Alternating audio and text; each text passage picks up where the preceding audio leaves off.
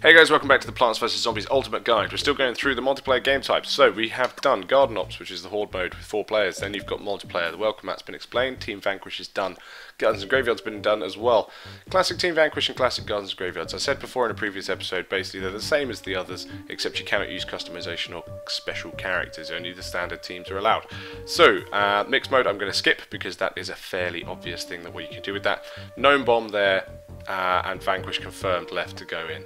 So, mixed mode basically is just all the different all the different modes just thrown together. You, so if you don't know what you want to play, then you can literally just go blah, and just throw it in. It's maximum player 16, and then uh, you can pretty much just uh, enjoy yourself really as it cycles around through different things. So we're going to go for Gnome Bomb now is the next one up. So uh, this is the penultimate game mode, and then the one after that is obviously the Vanquish Confirmed mode, which is a new one, came with uh, the update uh, this month, I believe, the update? No, last month. I don't know, very recently. So we're at the garden centre again for Gnome Bomb. Now with all these game modes, the maps are the same, they're all the same size and everything. The uh, one thing is Gardens and Graveyards basically is just a slightly larger, it will expand the maps out as you play. Um, now, with Gnome Bomb, you don't really need to go very far with these maps. So even with the Garden Centre being quite big, we, we don't really need to travel outside of certain boundaries. The objective for Gnome Bomb is that there is a Gnome Bomb, obviously, um, which uh, both teams have three control points, which the other team must pick up the Gnome Bomb, take it to the control point, and then defend it until it blows up, basically. Some of these matches can be very, very quick. Uh, some of them can be very, very slow. Depends on how many players you have. If you've got less players, obviously it makes it take a lot longer. With a lot of players in here, um, it can be kind of interesting to see as to how it goes. I'm just going to go for the foot soldier this time. So, plants have the gnome, so you can see the objective here. The, the green things are the plants, uh, gardens, and the purple ones are the zombies. Now, we appear to have lost one already. I've joined a game in progress, but that's okay. I can uh, maybe try and pull it back a little bit. I'll see as to how it goes. Here he comes. Now, whilst you're holding the gnome, uh, you can't really move that fast, and you can't shoot or anything like that, so...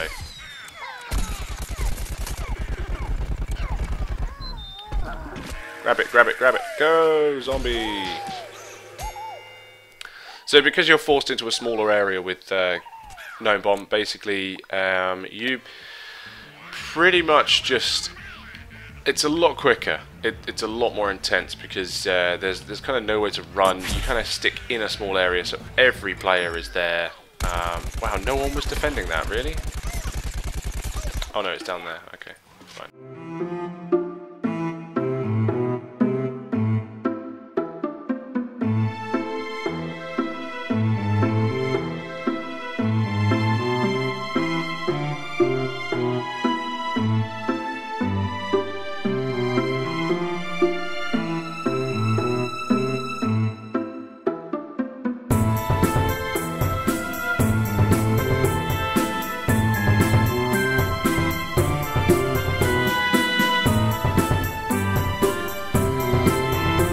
Uh, here's another little tip for you.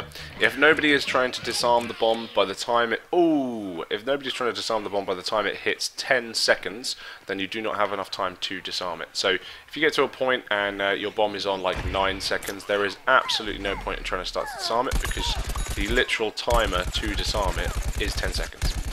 So uh, it becomes basically impossible to do. So there you go. There's a tip for Gnome Bomb.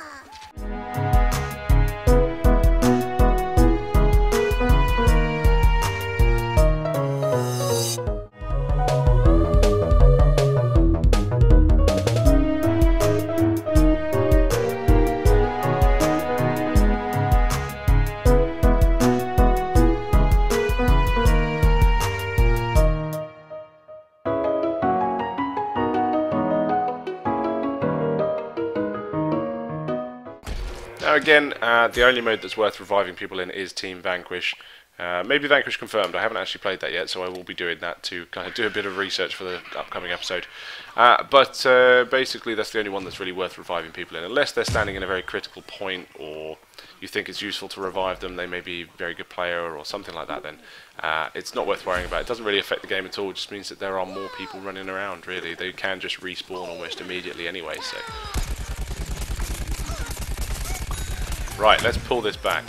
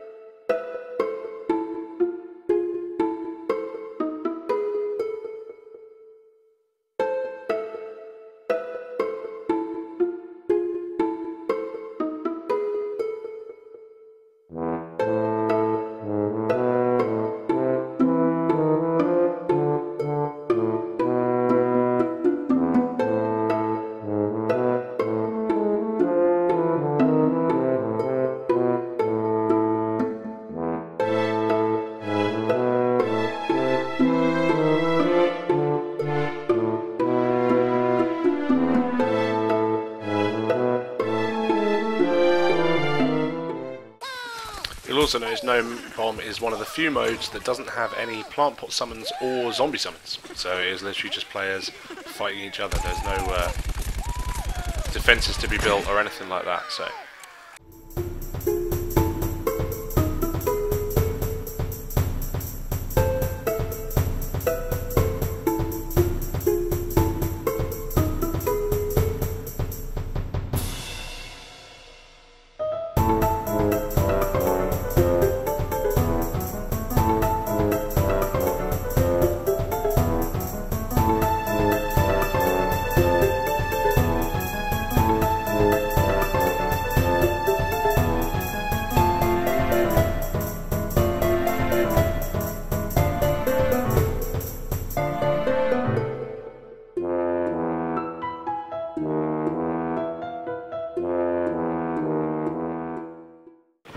Okay, so we're coming to the end of the match now. Uh, basically, I get the feeling we're going to lose on this one.